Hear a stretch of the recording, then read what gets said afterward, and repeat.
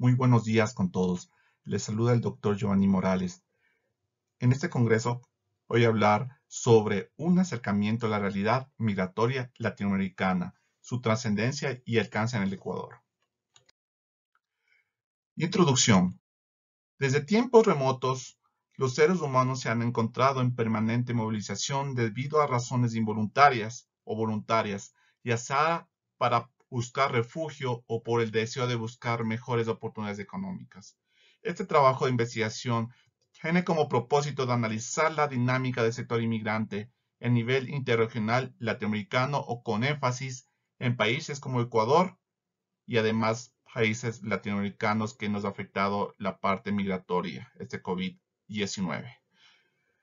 Bajo este criterio, el estudio de desarrollo en tres partes, la primera se enfoca en una revisión teórica conceptual relacionada con el fenómeno de la migración, con un acercamiento a la realidad latinoamericana dentro del contexto de las relaciones internacionales, tomando como referencia el movimiento migratorio a nivel interregional. La segunda, vamos a plantear un análisis de la presencia de migrantes en el Ecuador, de cómo el país se ha convertido en, en emisor, receptor y región de transición de migrantes regulando por la Ley Orgánica de Movilidad Humana, lo cual permite a un inmigrante desenvolverse haciendo uso del principio de la ciudadanía universal. En la última parte se destaca la inesperada aparición del virus COVID-19 a nivel de pandemia, su prevención económica futuro y, y su afectación al sector migrante en el país, manifestando en dos frentes, sanitario y económico. Vamos a hablar sobre también la literatura de referencia, principios de convivencia humana. Vamos a hablar sobre este tema, que es la más importante, que es la historia humana ha seguido el curso de emociones, lo cual ha, hecho posible la convivencia. Una independencia del entorno dispone de capacidad de acción y creatividad.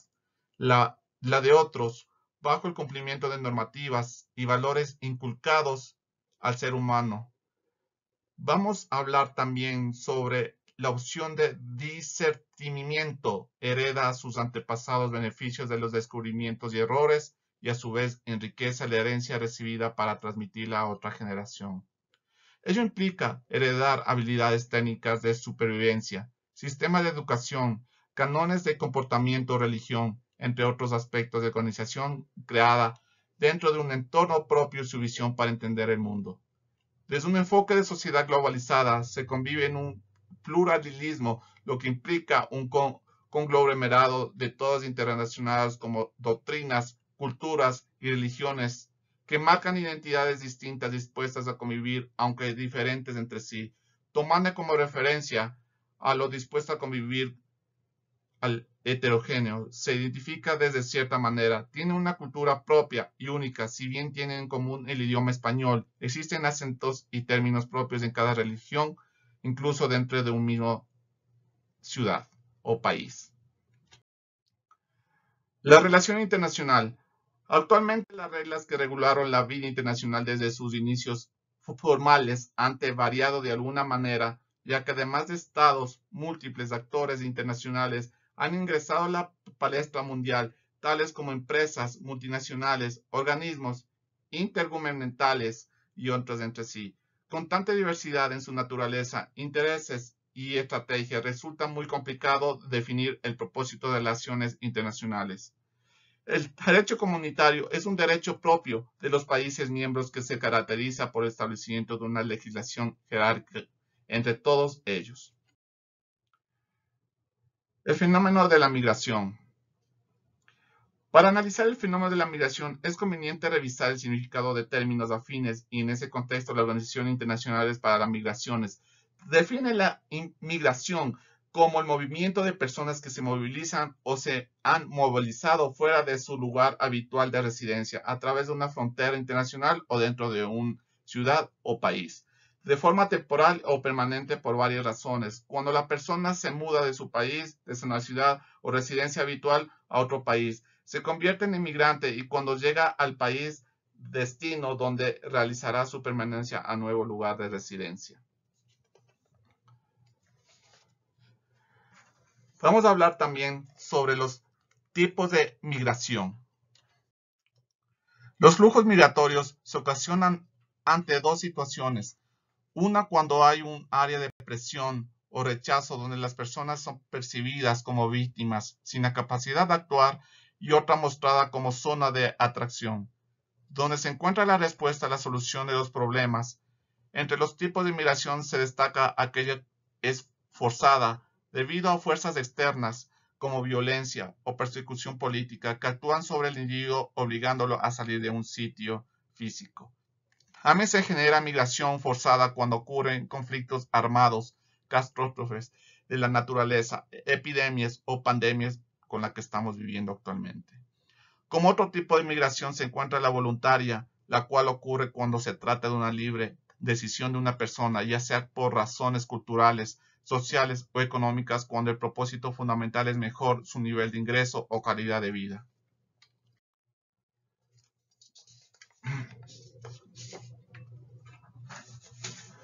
Vamos a hablar sobre los migrantes del Ecuador 2020. Antes de hablar sobre los métodos.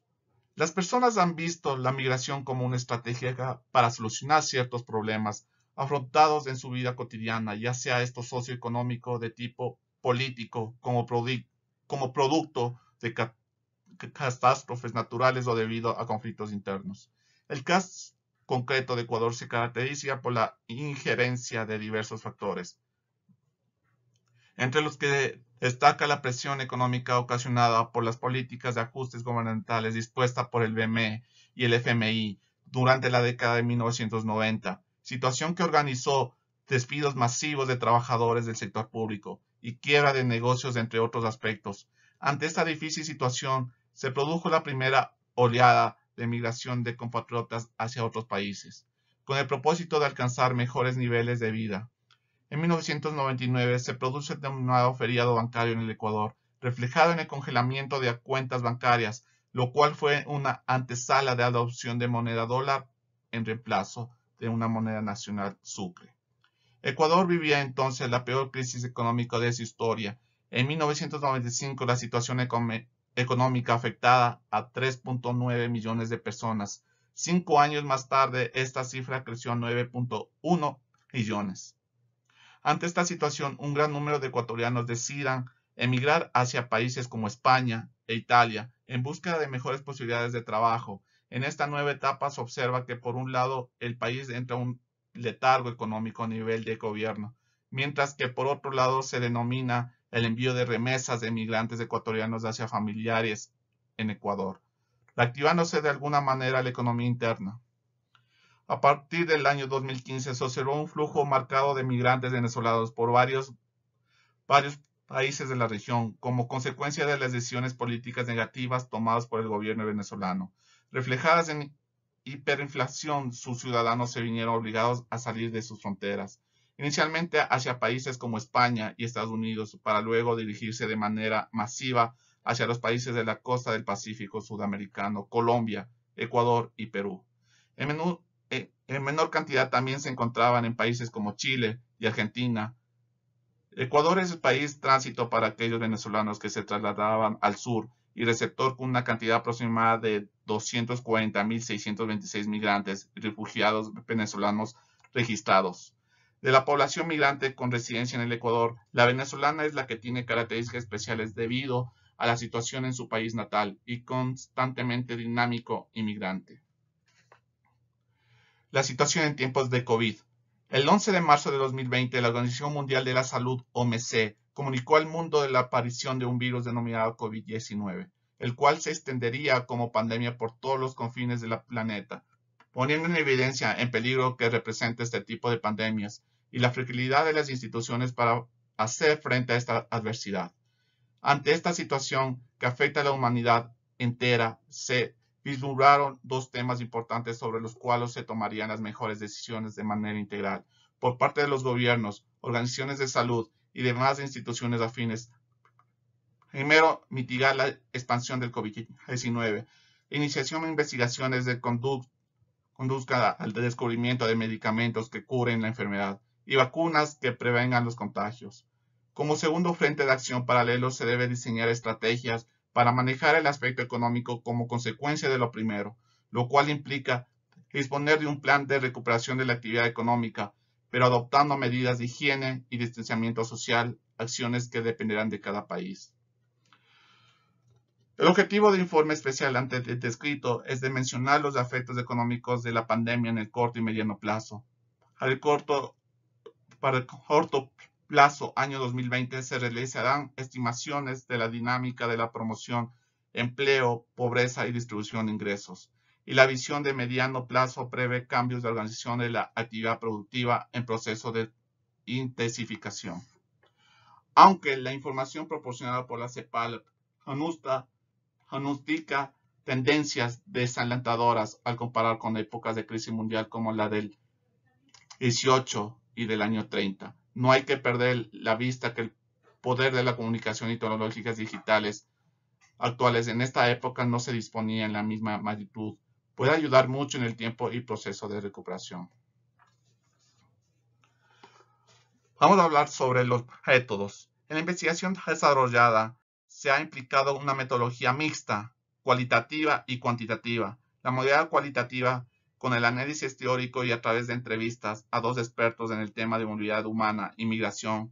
La cuantitativa en base de datos estadísticas, recopilaciones y desarrolladas por organismos internacionales y locales oficiales. Las modalidades cuantitativas y cualitativas se complementan para generar información válida y de esta manera desarrollar un análisis específico. En términos temporales, se ha extendido en las últimas dos décadas por cuanto en ellas han existido marcadas tendencias de movilidad humana, tanto desde como hacia Ecuador, que se constituyen en las unidades de investigación el desarrollo de este trabajo. Se adapta el tipo de investigación descriptiva, lo cual permite desarrollar de forma clara y amplia de diversidad tendencias migratorias que se han producido en el tiempo fijado. Vamos a hablar sobre los resultados según manifiestan los expertos Diego Donoso y Raúl Salgado, respecto a las importancias de los tratados internacionales de nivel regional en cuanto a migración, y de los cuales Ecuador forma parte, es responsabilidad de los gobiernos trabajar de manera conjunta para cautelar la integridad y respeto de los derechos humanos, siendo obligación del Estado honrar los compromisos con las posibilidades de manejar de manera adecuada las posibles situaciones migratorias complicaciones y problemáticas derivadas. Y cuando el tema migración de personas y tipo de migración señalan que la libre movilidad es un derecho humano y las naciones comprometidas le deben respetar y apoyar. Es imperante que los gobiernos trabajen arduamente para que su gestión sea adecuada en términos de migración, lograr aplicar las normas y garantizar sobre todas las integridades de las personas. Referente a la tendencia migratoria en la latinoamericana manifiestan que es un proceso continuo que se ha intensificado en los últimos 20 años con diversos factores, seguridad, economía, condiciones políticas, racial, empleo. Cualquiera que fuera la condición, cada uno de los estados debe estar preparado con normas, instrumentos y condiciones para albergar a migrantes temporales o permanentes dentro de sus, dentro, de sus sitios en su país. En relación con la migración del Ecuador durante las dos últimas décadas, señalan que los movimientos migratorios se caracterizaron por la migración laboral no cualificada debido a factores económicos y sociales principalmente. Sin embargo, durante los últimos 10 años, el ritmo y niveles de migración no han sido significativos en comparación a los movimientos migratorios de los ciudadanos de otros países de la región. La opinión de entrevistados respecto al comportamiento del sector migrante del Ecuador entre marzo y julio del 2020 señala que este responde a ciudadanos en situación de vulnerabilidad, mayoritariamente sin preparación y con pocos recursos. Esta condición hace que las posibilidades de formar parte de la PA nacional sea mínima o inexistente, además de las condiciones precarias que algunas ocasiones se van expuestos. Es una migración temporal transformizada. Respecto a los flujos migratorios, en la época post-pandemia a nivel mundial, regional y en el Ecuador, manifiestan que se concentrarán en los países económicamente más desarrollados y con seguridad jurídica, donde se dará prioridad a la migración laboral como parte de la reactivación de los espacios productivos y de mercado. Sin embargo, la mayor cantidad de la población optará por permanecerse dentro de sus países a fin de precautelar la salud propia y de sus familiares. La pandemia llegó y la región andina donde aproximadamente 1.5 millones de migrantes que están viviendo hoy en la región son irregulares. De acuerdo con el gobierno ecuatoriano, ecuatorianas, el 70% del aparato productivo se ha paralizado por la crisis sanitaria y el primer mes de confirmamiento se observó una pérdida estimadamente de 7 millones.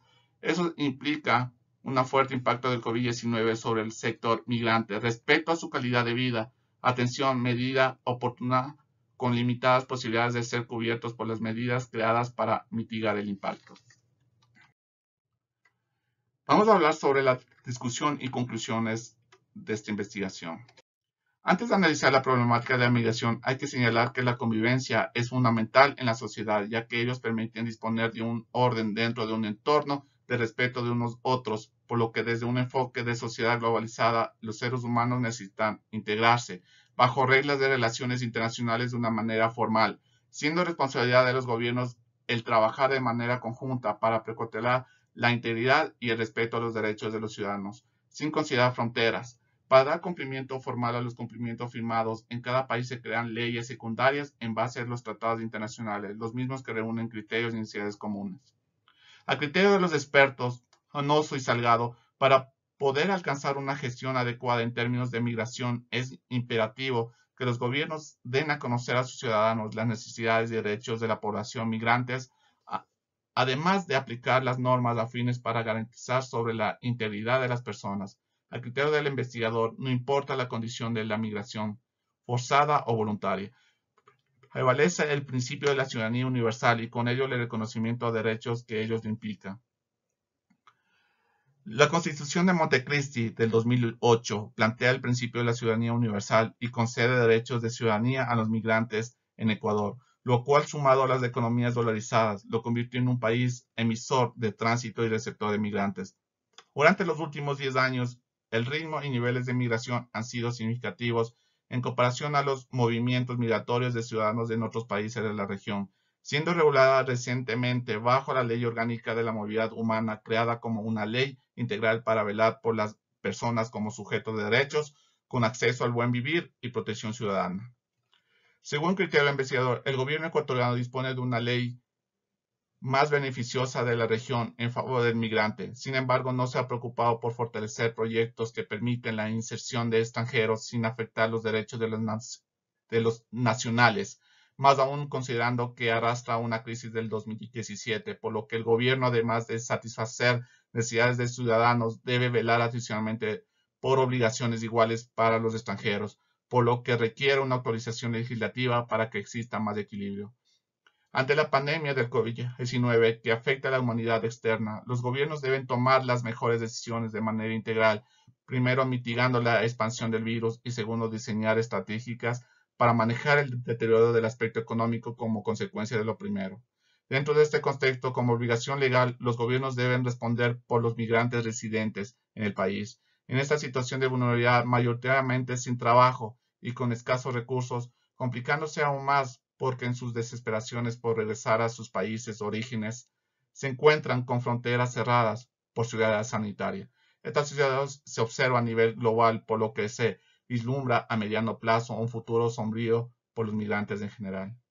Según los voceros del OMC, durante el menos de un año no se establecerá la situación sanitaria y por ende la economía, por lo, que considerando los despidos masivos a nivel global existirán por ende la economía, por lo que considerando los despidos masivos, limitadas opciones para ciudadanos locales y escasas para migrantes, para que el país salga avante, de deben diseñar soluciones que beneficien a toda la población por, porque el aparato productivo los conforma todos, nacionales y extranjeros.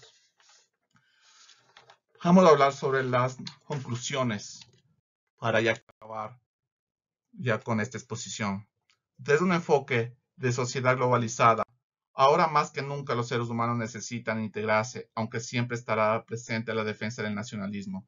Dentro de este contexto se desenvuelven el fenómeno de la migración, el cual puede manifestarse de manera forzada debido a situaciones políticas o eventos de la naturaleza, inmigración voluntaria ante el atractivo de las amplias transformaciones impulsadas por la globalización económica y comercial.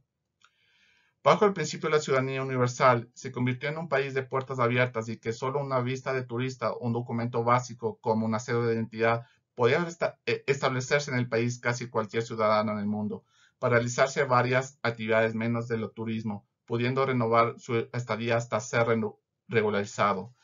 A esta manera, el concederse derechos de ciudadanía, los migrantes en Ecuador, país debido a la baja del precio del petróleo y la elevada deuda externa, lo cual un menor presupuesto obliga a atender en igualdad de condiciones de nacionales y extranjeros migrantes. Ello hace pensar de una actualización más equilibrada a la ley migratoria.